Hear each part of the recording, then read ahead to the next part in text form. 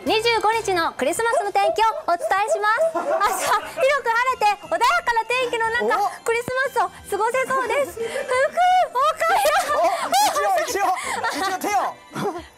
西日本は晴れてお出かけ日和になります。日差しはあっても体感は寒くなりますので暖かい服装でお出かけください宮崎高知では夜にパラパラと降る雨が心配です。折りたたみ傘をあった方が良さそうでうすね。まいなおい。金沢など北陸は雲が多く日中はにわか雨に注意。